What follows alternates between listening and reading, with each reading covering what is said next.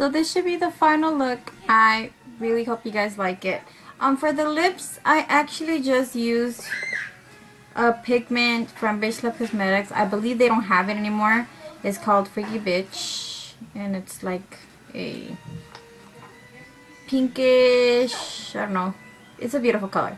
But they no longer have it. And I just used it as a lipstick. So yeah. So yeah, so I really hope you guys like this look. And thanks for watching. And talk to you guys later. Bye.